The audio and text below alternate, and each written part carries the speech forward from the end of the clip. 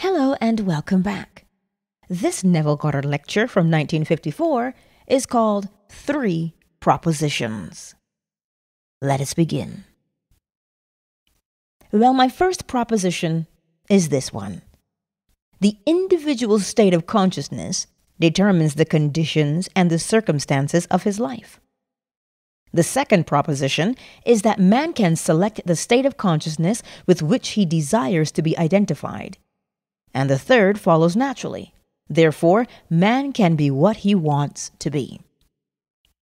If the first proposition is true, that the individual's state of consciousness is the sole cause of the phenomenon of his life, then the normal natural question that is asked why doesn't he change it to a more desirable state if he could change it? Well, that is not as easy as it appears. Today we hope to give you a technique to make it easier, but man finds it very hard to leave the things to which he has grown accustomed. We are all grown stuck in the habitual. It may seem strange, but a very sordid cartoon appeared years ago. That is during the last war. You might have seen it. It came out in the New Yorker, and it was one by George Price. In it, is one single little room.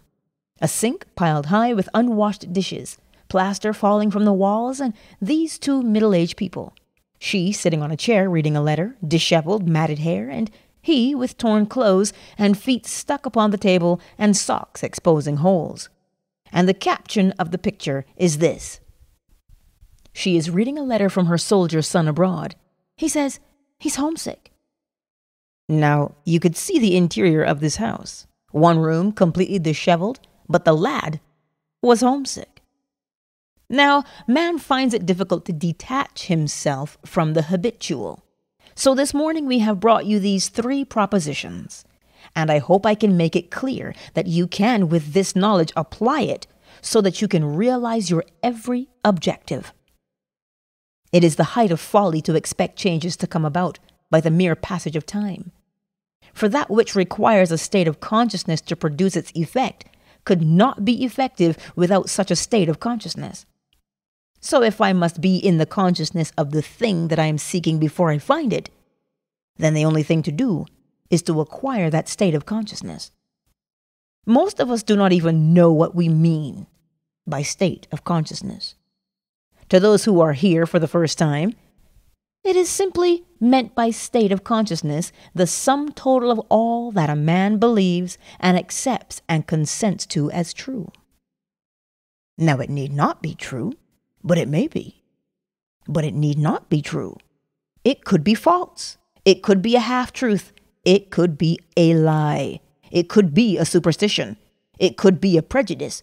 But the sum total of all that a man believes constitutes his state of consciousness. It is the house in which he abides. And as long as he remains in that house, similar problems will confront him. The circumstances of life will remain the same. He may move physically across the ends of the earth, but he will encounter similar conditions. He can't get away from the house in which he abides.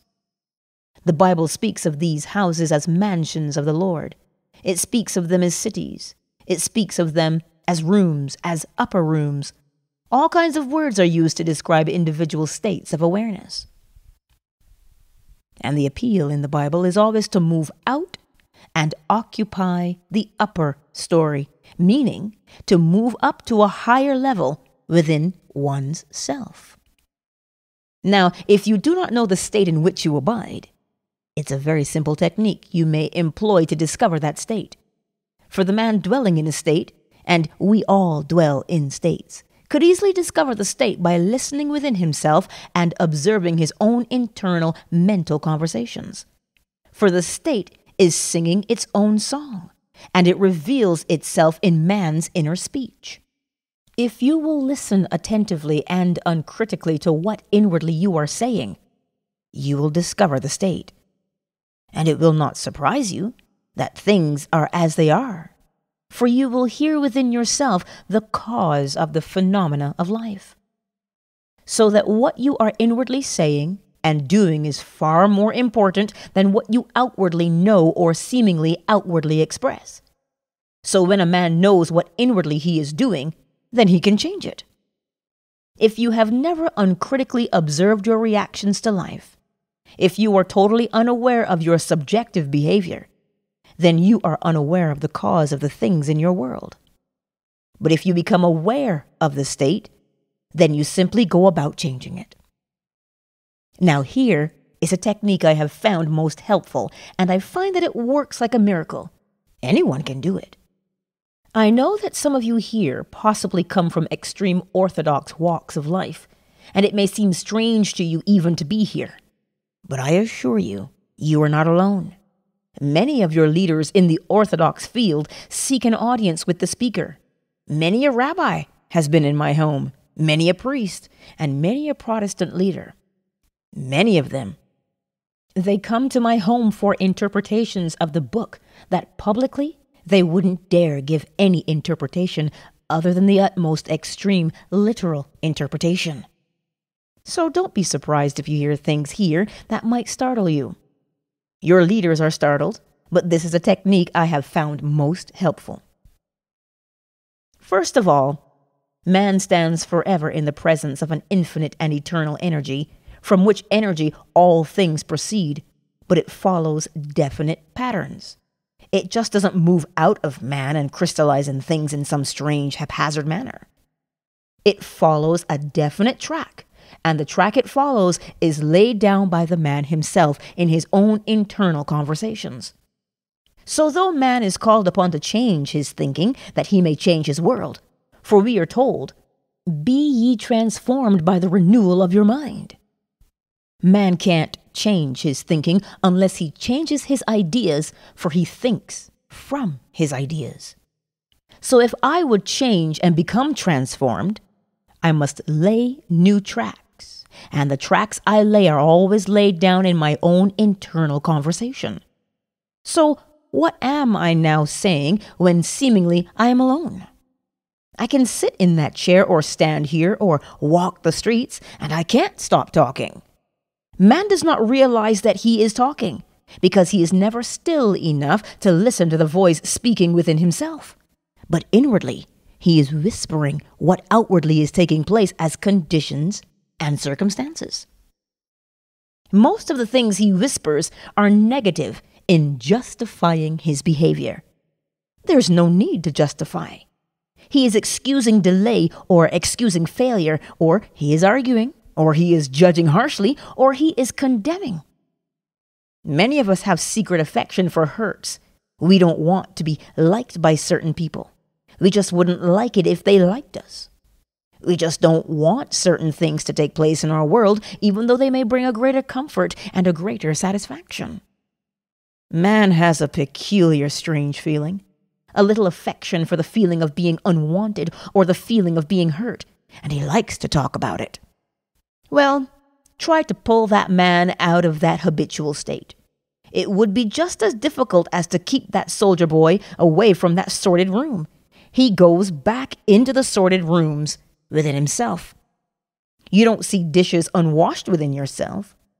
But if you could only see the internal psychological state in which most of us abide, we would see a room far dirtier than the one that George Price illustrated in the New Yorker magazine. They are all unwashed plates within us. On the outside, we wash them, but we are told in the Bible we leave the inside unwashed and we become whited sepulchres. Now, if I sincerely desire to change my world, there is no one in my world I need change but myself. So that I don't need to change you as an individual, but I do need to change my attitude towards you. If you dislike me, or I think you dislike me, or if your behavior offends me, the cause of my offense is not in you and your behavior but I must look for that cause within myself. Now, if I seriously and I am honest about my search, I will find it, and I will find that inwardly when I think of you, it is never a pleasant conversation that I carry on with you. So let me sit down now and bring you before my mind's eye.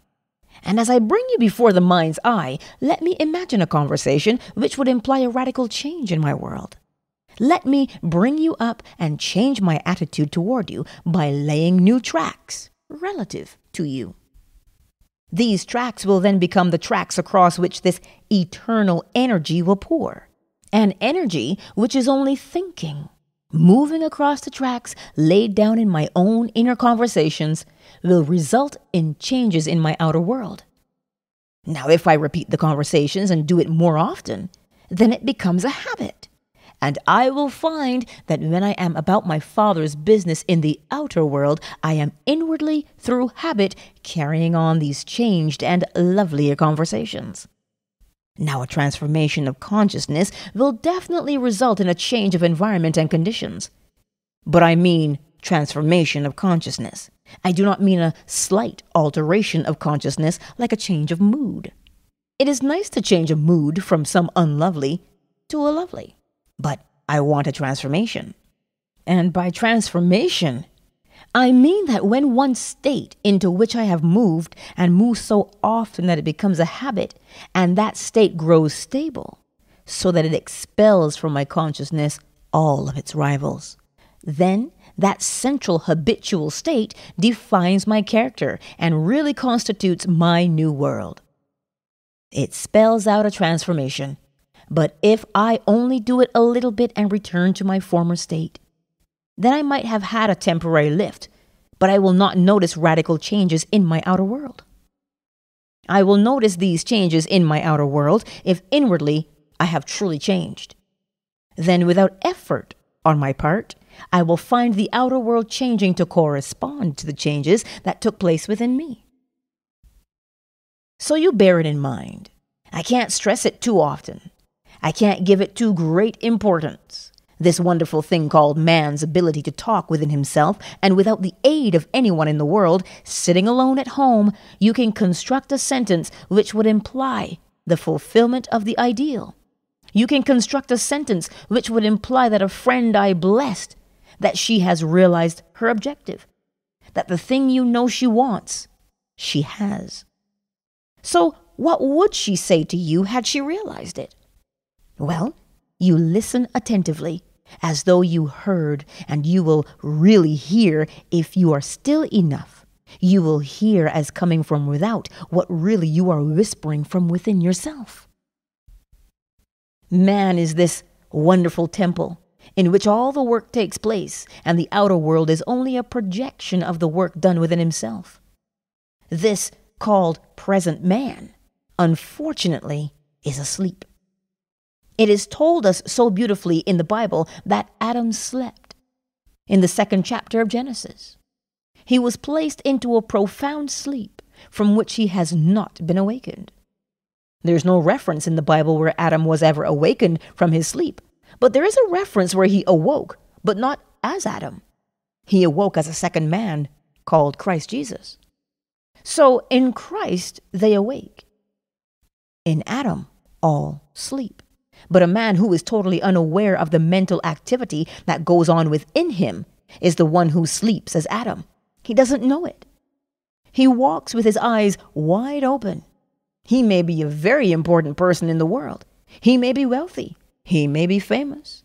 He may have all the things that you admire. But if he is totally unaware of that mental activity, which is the cause of the phenomena of his life, that man is sound asleep and he is personified as Adam. And he will read his Bible and think it is a literal story. He will read where Adam was put to sleep, and from Adam a rib was taken, and a woman was formed called Eve. But when a man begins to awake, he realizes that this symbolical Eve of the Bible is only his own emanation now called by the name of nature. And nature is his slave and must fashion life about him as he fashions it within himself. But if he is asleep, he fashions it in confusion. But he fashions it anyway. For he uses the very technique that his father used to build a world. He uses speech he uses inner talking. And that's how this whole vast world was brought into being. So he uses the same technique. He has speech and he has his mind. But in the state of sleep, He brings about strange conditions, and he doesn't know he's the cause of the strange things round about him. As he begins to awake, then he awakes only as one being. He awakes as Christ Jesus, and the being called Christ Jesus personified in our Gospels is simply the awakened, loving imagination. Imaginative love, where only love guides it, is incapable of hearing anything but the lovely. When that being begins to awake, he doesn't see things in pure objectivity. He sees everything subjectively related to himself. He is incapable of meeting a stranger.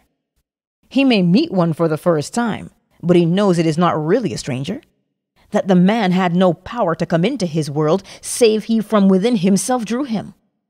No man comes unto me, save I call him. No man takes away my life, I lay it down myself. You didn't choose me, I have chosen you.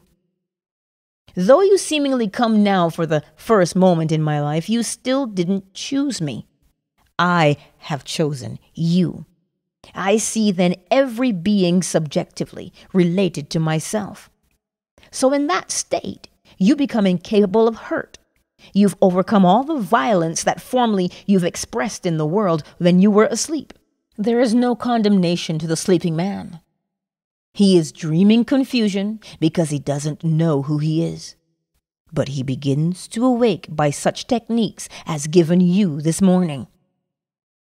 If you take this technique and you try it consciously, for here I am appealing not to the passive mind that passively surrenders to appearances. I am appealing to the Christ in you, which is the active conscious use of your lovely imagination. So when you sit down and you predetermine what you want to hear, and you listen until you hear it, and you refuse to hear anything other than that, then you are using the one power in the world that awakens a man, and you are using your lovely imagination, which is Christ in you, the hope of glory. Here is a lady this past week. She has heard the story of revision. Her husband calls her, and it's a big deal. It runs into a fortune. He had sent off 600 feet of film to Acme, and they've returned the film. Only the first 300 were good. The second three were duds, as they call it. Not a thing was on it, a complete blank. Yet they were up against time. That 600 feet of film had to be on a plane headed for Chicago in the immediate present, less than 12 hours away. It had to be there. That was the contract. And 300 feet of film taken. No sound appeared, with the whole thing a blank. She sat down when her husband called her desperately called her. She sat on the bed just where she had received the call, put the receiver up, and sat in the silence until she heard within herself that phone ringing, and across that wire the same voice. But now, not an anxious voice, but a tender, loving voice, which was her husband, explaining that the whole thing had been resolved. They had found what seemingly they had lost forever. She sat in the silence for one hour and ten minutes. And there she listened, and she listened, until her whole body became still in hearing only what she wanted to hear. An hour and ten minutes later, while still in the silence, the phone rang. It's her husband, calling to say that Acme just called him to explain and excuse themselves. It was their mistake. They had found the missing 300 feet of film and there was not a dud. It wasn't a blank. The whole thing was perfect. Now, the average person not knowing this law of revision, or even those knowing it, would have accepted as final the evidence of sense, and receiving news that seemed so factual, they would have gone into a stew, bawled out Acme, and pulled all kinds of wires to correct it. But she heard, and she acted upon it. And that's what I mean when I tell you that a little knowledge, if you carry it out in action, will be far more profitable than much knowledge which you neglect to carry out in action. Now, many of you present, and this is no judgment, you have the same knowledge that this lady has. She's been coming here recently, but she heard. She attended all the meetings at the Ebell, and she's been here. Undoubtedly, she's here this morning. but at least she came the first two Sundays and she hasn't missed one at the Ebell. And having heard the art of revision, she acted upon it. Others heard the art of revision. Have you acted upon it? Did you last night allow the sun to descend upon your wrath? Did you sleep last night with any trouble, any vexation unresolved? Or did you last night truly go to bed having resolved every vexation and trouble of the day? All the little problems, each one must be resolved. You rewrite the play. If you didn't rewrite yesterday's events and make them conform to the ideal you wish you had experienced, then you heard, but you aren't a doer. And so you were told in the Bible Would that ye be doers of the word and not mere hearers only. For if you are a hearer and not a doer, then you are like a man who sees his face in the glass and turns and straightway forgets what manner of man he is.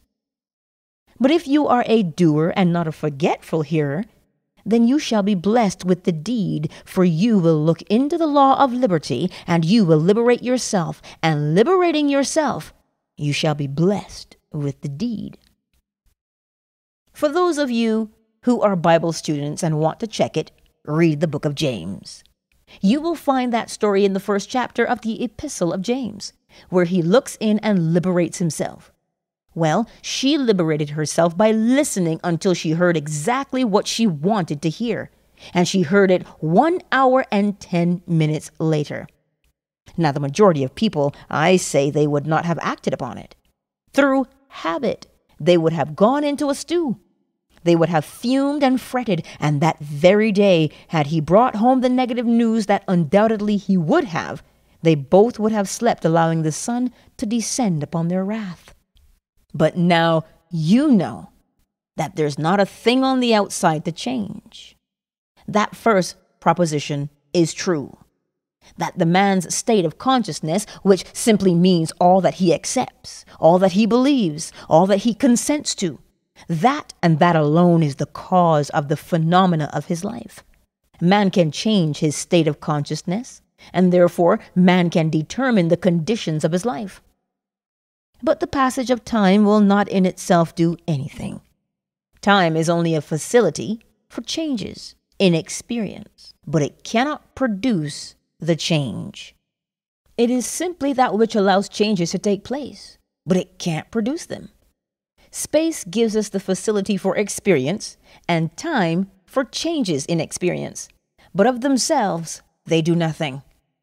We must operate the power and so the individual, if he doesn't become the operator, then he will wait in vain. So no one here this morning, in fact, no one coming here through the year, should ever allow himself to blame another, ever allow himself to justify failure, for he is only betraying his own lack of the use of this law. Anyone that you listen to who is complaining of a third party, he has no idea how he is betraying himself. He is telling you of his own unwashed dishes within himself, but he doesn't know it. He thinks it is in the one that he is now judging. But as he talks to you, listen attentively and see what must be washed within him, and you aid him. In your mind's eye, rewrite that script that you heard. And when you leave him, just imagine you heard a more lovely conversation than the one you did hear. Just rewrite it for him, and in some strange way, lift him up within you, for that is your task. It's my task. We aren't here to condemn. We are here to redeem. Having awakened, we have found Christ in us as our own imagination. And so our duty, as it is said, Christ's duty, is to do the will of him that sent me.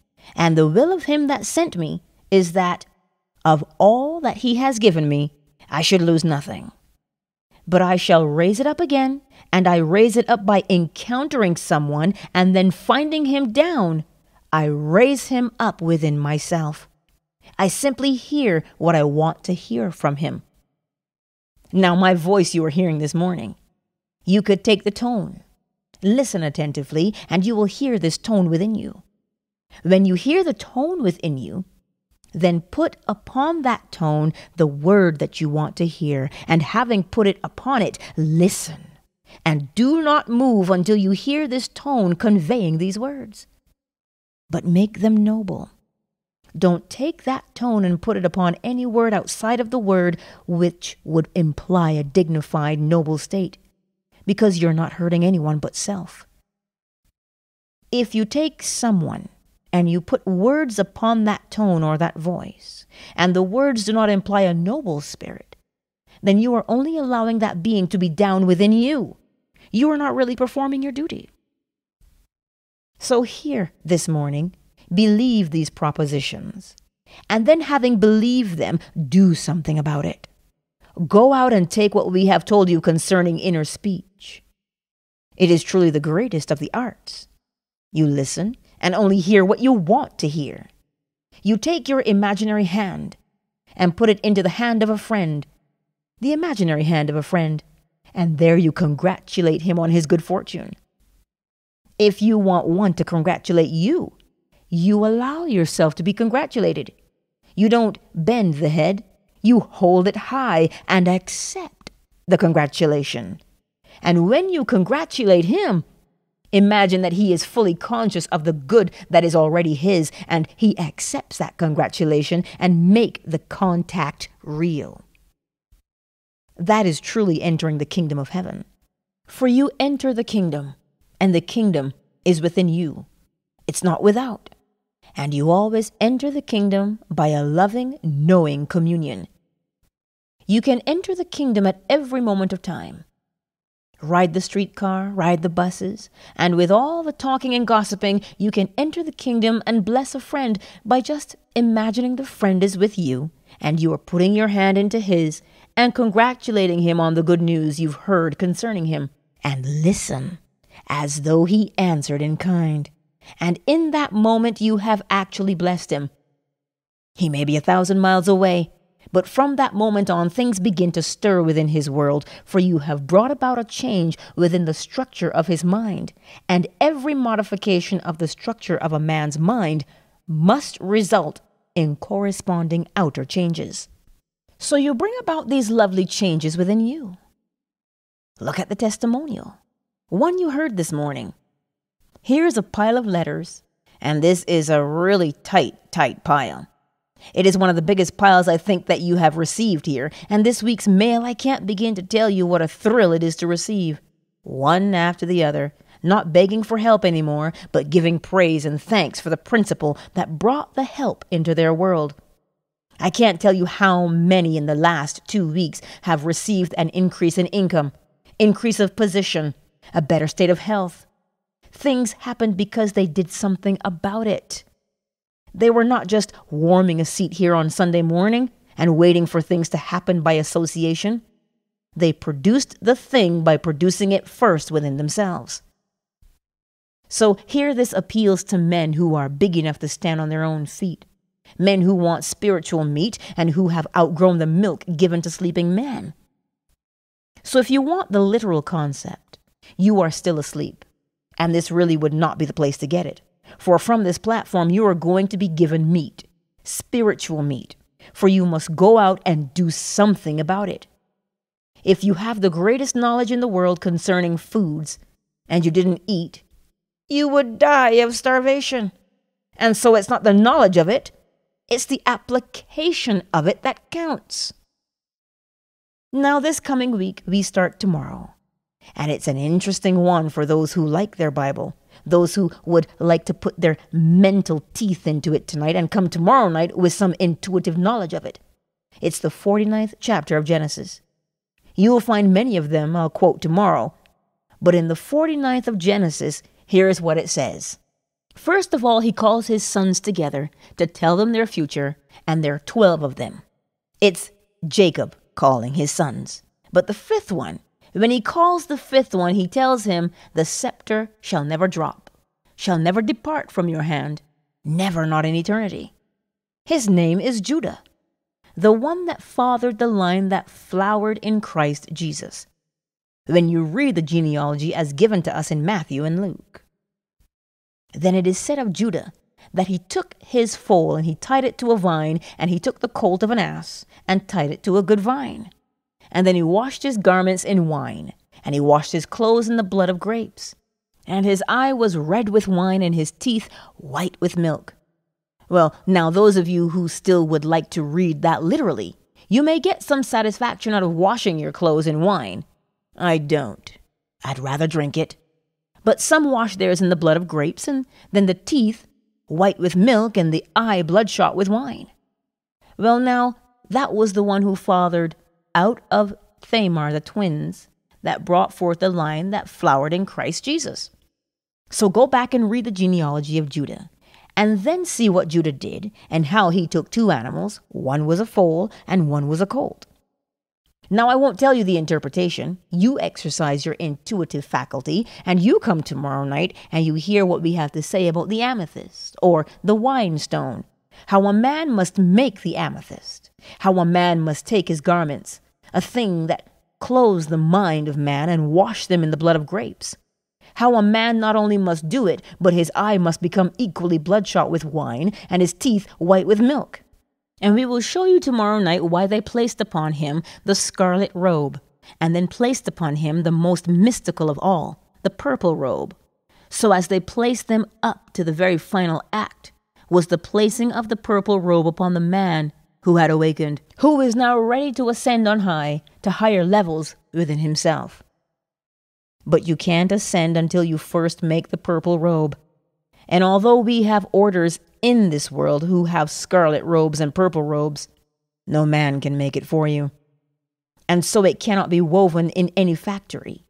It has to be woven from the factory within yourself. So, tomorrow night, for those who are vitally interested in going deeper into the mysteries, our subject is the twelfth, an amethyst, the very last act of a man, the twelfth, for there are only twelve. Then comes the most, I would say, the least precious of all stones in the eyes of man. But in the eye of God, it's the most precious, and it's not the little thing you find among the stones. It's the one you find within yourself. So that is tomorrow's subject. Now let us go into the silence.